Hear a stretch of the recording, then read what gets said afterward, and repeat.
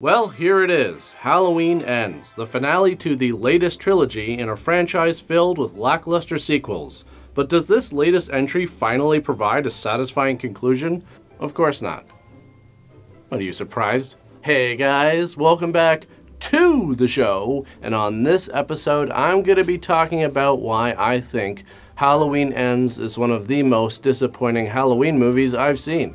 Now, before I get started, I should mention that there are going to be spoilers in this review. I touched on this in the video I made last year on Halloween Kills, but I don't think I've ever seen a movie franchise get away with going in as many weird directions as Halloween has. I mean, it's all here remakes, reboots, multiple timelines, and some really bizarre storylines. But that's not really that surprising, especially coming from a franchise that's been going on for so long. Again, I'm pretty sure I said this in the video I made last year, but after all these movies, What's left to do? Well, let's take a look, shall we? The movie takes place four years after the events of the last two movies, and Laurie Strode is writing her memoirs and lives a quiet life in Haddonfield in a house with her granddaughter after she made a promise not to let fear run her life anymore. Which just seems kind of weird to me. I mean, keep in mind, this storyline negates everything that happened after the original Halloween. So Laurie was attacked and her friends were killed in 1978,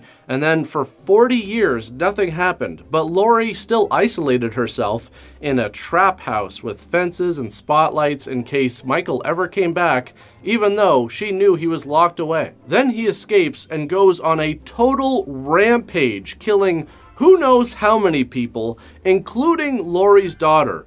Then he just disappears, so he's on the loose. The whole town apparently starts going crazy with fear and paranoia over the next few years. And this is when Laurie decides to stop preparing for Michael Myers? I would argue that it would make more sense if these versions of Laurie were flipped. Laurie in 2018 really doesn't have much of a reason to anticipate Michael coming back. Remember, she only encountered him once, yet she spent the past four decades preparing for his return. Laurie in 2022 really doesn't have much of a reason to not anticipate Michael going on another killing spree. Even though she probably realizes at this point that he was never going after her specifically, he's still out there somewhere. And if you really wanted to move on with your life, why don't you start by moving to a new town?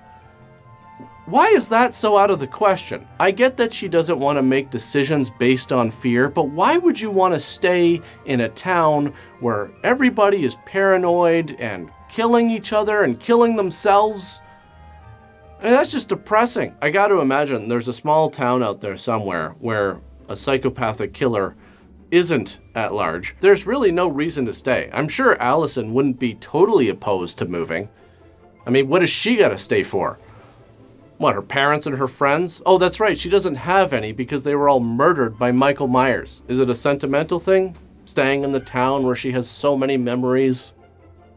Horrific, horrific memories. But who knows, maybe Laurie just really hates moving. I mean, it is a pain in the ass. And besides, she's got stuff to do.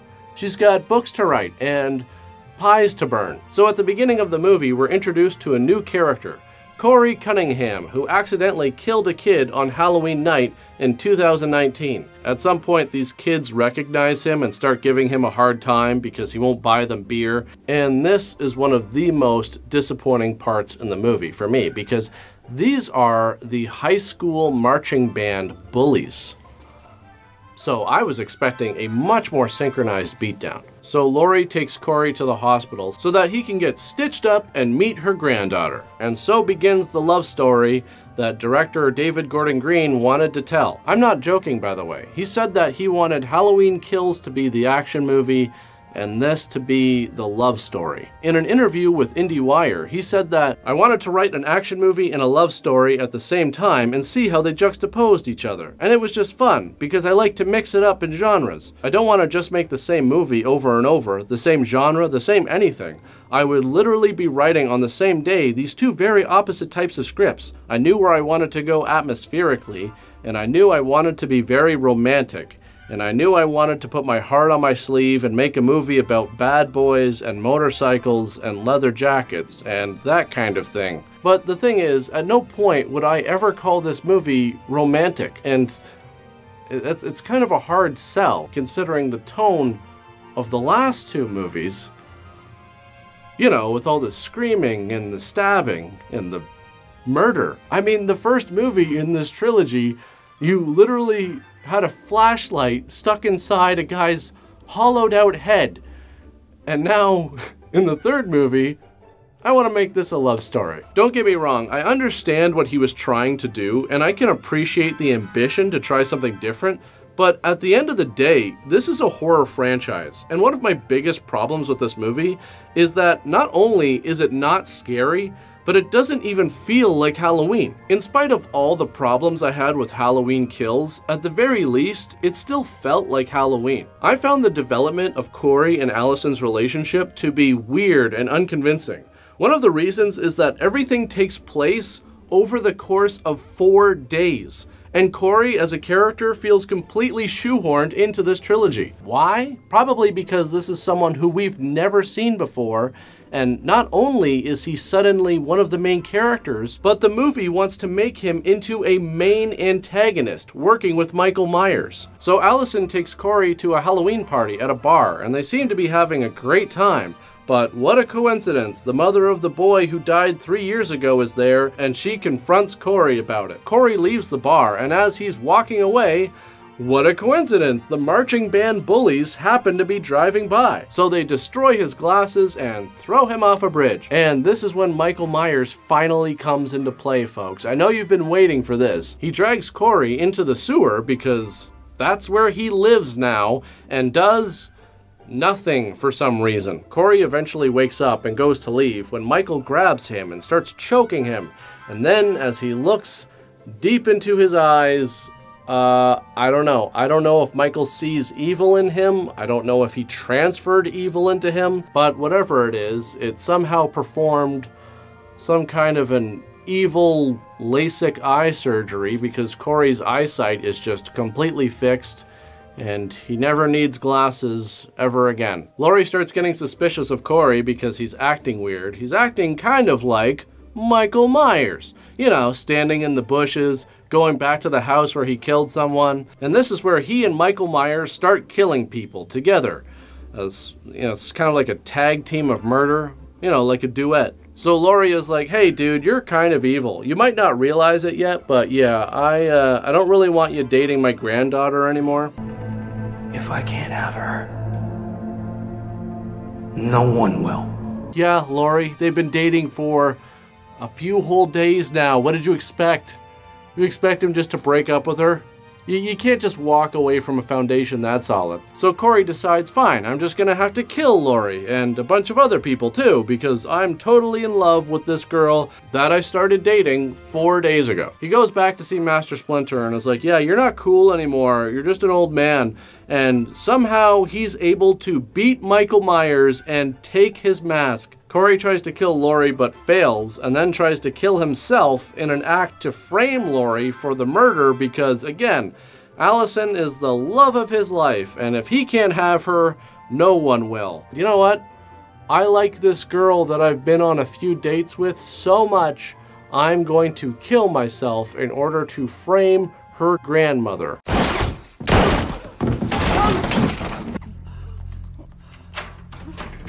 Knock, knock. Hi, Laurie. Just wanted to check in because I heard gunshots, and you know, this is why we started the neighborhood watch. Just want to make sure you're okay. Oh my God. You always have the best decorations. I swear. You know, I just got this crappy plastic skeleton. It sucks. But you, it's I don't know how you do it. Like, what did you what did you use for the skin? That's crazy. Michael arrives and kills Corey because, I mean, Corey took his mask. And this is when we get the final fight between Laurie and Michael, where Laurie finally kills him, but then again, it's pretty hard to kill this guy. So they strap Michael's body on top of a car and kind of parade him down the street. The rest of the town kind of joins in.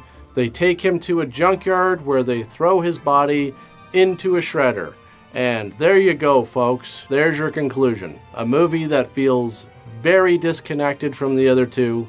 And in the end, I feel you have a trilogy that's kind of a mess, quite frankly. When you consider all the places that this franchise has gone to over the past 44 years, I do feel like 2018's Halloween was a decent movie that got really close to providing a good conclusion. But this franchise always manages to snatch defeat from the jaws of victory. It's amazing. I feel the same thing happened in 1998 with H2O. They made a movie that ignored almost all of the other sequels, and while it certainly had its problems, it provided what I think was a solid conclusion. There's a final battle between Laurie and Michael, and it ends with Laurie cutting off Michael's head roll credits. But they just had to screw that up with a ridiculous explanation and a movie that was so horrible for so many reasons. With Halloween 2018, once again, I feel you have a movie with a satisfying conclusion. But as stated by Danny McBride, who was one of the writers, he and David Gordon Green were going to pitch two movies, but then decided not to and waited to see the reaction to Halloween 2018. After Halloween did so well, they decided that instead of doing a story arc over two movies, to do a trilogy instead, because they realized they had more material than they had originally thought, which is strange because while I can see the connection between Halloween and Halloween Kills, Halloween Ends feels completely detached. Halloween Kills picks up right where Halloween left off, not just in story, but in tone as well. And by the end of that movie, there was momentum. Michael kills Karen, which sets up for an even more intense confrontation between him and Laurie. But Halloween Ends completely diffuses that intensity and even abandons characters and storylines that I feel were being developed. Halloween Kills starts with Hawkins talking about how he had the chance to stop Michael back in 1978. We even see a flashback showing us what happened. Hawkins then vows to be the one to kill Michael this time. He's taken to the hospital where he further talks about his regret to Laurie and we see another flashback of how he was the one who stopped Loomis from killing Michael in 1978. In Halloween Ends, he appears in a couple of scenes, and he's really only in the movie to just develop the love story between him and Laurie. My niece gave me a Rosetta Stone, and now I'm learning Japanese. There was a storyline in Halloween Kills with the kids from the original movie Lindsey is the only one of them to survive her encounter with Michael, leading her to do absolutely nothing in Halloween Ends. I'm serious, she flips some tarot cards and pours some drinks. The mortality of Michael Myers seems to be inconsistent throughout this trilogy. In Halloween Kills, Laurie talks about how she used to think that Michael was just flesh and blood, but a mortal man couldn't survive what he's lived through. And she's right, but David Gordon Green says this isn't the case. In my own personal concept of Michael, that will carry forward uh, as long as I'm involved, is that he's a uh, he's capable of spectacular things, but not impossible. So I, I don't personally see him as supernatural. Michael has been shot and stabbed countless times and managed to survive by sitting in a sewer for four years even if that doesn't seem impossible, how about the fact that at the end of this movie, he gets stabbed in the heart and gets right back up? If there's nothing supernatural about him, then what is going on at the end of Halloween Kills when Karen sees Michael as a kid staring out the window?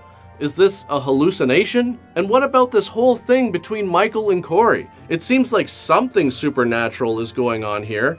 And after this happens, people say that Corey has changed, that when they look at him, it's not him. Laurie even says he has Michael's eyes. I keep seeing his eyes, Michael's eyes, in Corey. These last two movies have tried to convey the idea that it's not just Michael himself, but the fear he's created and instilled in the people of Haddonfield that's destroying the town and creating people like Corey, which I get, but personally, I never found this to be very well executed. The message about mob mentality in Halloween Kills was just so overdone that it just came off corny to me. Evil dies tonight! Evil dies tonight! Evil dies tonight! Not evil dies tonight! And with this movie, again, I get the message about fear and paranoia and blame and how that infects a community and the consequences of that, but it feels like that's its own movie. And what happens with Laurie and Michael is secondary to that. And of course, a lot of people aren't going to be happy with that, especially when, in the end, the final confrontation that we get is nowhere near as intense as what we got with Halloween 2018. But with four different writers at the helm, is this a case of too many cooks in the kitchen? Or could it be that there's just not a lot of places left to go from a story standpoint? I would argue that that well ran dry a long time ago, and I believe the filmmakers knew that people would be divided over this movie. Maybe that's part of why they've been using the same font from the movies from 40 years ago. This movie obviously being a major departure, like Halloween 3. And even though this movie claims to be the end of Halloween, we all know it isn't. And I think that's what I find so amusing after all this time. Creatively, this franchise is like a dead cow that keeps getting resurrected in order to milk out a few more drops. But financially, this franchise is a goose that lays golden eggs. Just look at these numbers. There's not a chance that they're not going to come back again. So even if you hated this conclusion, as I did, don't worry because in a few years there will be another conclusion that you'll probably hate even more. But that's pretty much it for this one. As usual, thanks for watching guys, and I'll see you all next time. Also, where do you get your candy from? I'm just curious because I usually buy one of those big boxes with an assortment of candy bars, and quite honestly, I'll go through and pick out all the ones that I like, you know, like the Kit Kat and the Snickers, and then I'll give the rest out to the kids. You know, like the Aero, I'm not that big of a fan of Aero. It's not horrible. It's just that I don't know. I feel like with all the air bubbles, you're kind of getting less chocolate. So Corey was babysitting this kid while his parents went to a Halloween party. And now that I think about it, I'm not a parent, but if I had a kid, there's just no way I would be leaving them home and going out to a Halloween party a year after somebody went on a killing spree, the likes of which nobody has ever seen, and was never caught. There's no way I'm leaving that house. I also find it funny that at one point these people go after Laurie for what Michael did, as if Laurie has anything to do with that. Also, just based off of Allison's dating history in this movie, it's like. I just feel there's a lot of people here that need a tremendous amount of therapy. You know, not not not like once a week. I'm talking like a Costco buy in bulk amount of therapy.